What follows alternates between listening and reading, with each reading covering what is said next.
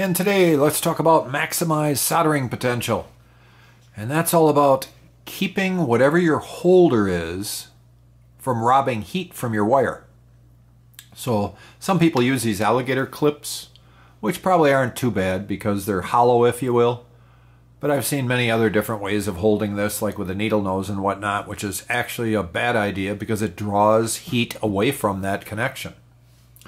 At the same time, I had a problem with a low power soldering iron wanting to do this heavy wire and doing bullet connectors on the ends of here.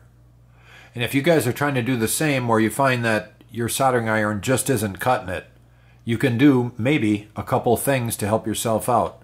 One, only hold your wire with something that is wood.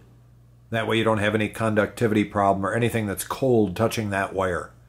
Secondarily, if your connector that you're using is held with anything metallic, it is also drawing the temperature away from that solder joint.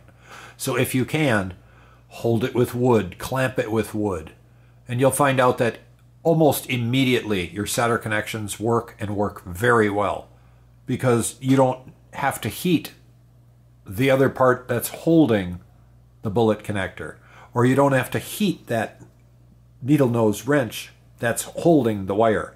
It's no longer drawing heat from your connection. So now, with simply five pieces of wood is all this is, two on either side, one up the middle, and these two on top and bottom, you can easily make this.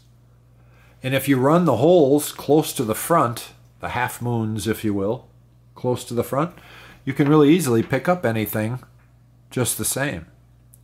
So it's, it works pretty darn good.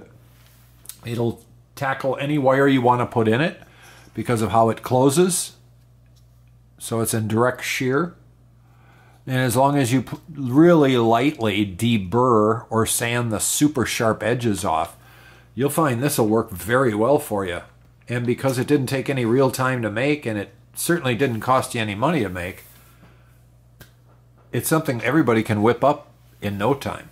All you need is one little tiny connector for a bolt and a, a nut, and it's done. You don't even have to have the O-ring, but that certainly helps. A rubber band is all you could use too. You could just fold that rubber band over depending upon what size you have, and it's all taken care of just the same. So for free, basically, you have a helping hand for soldering. Let me know what you guys think.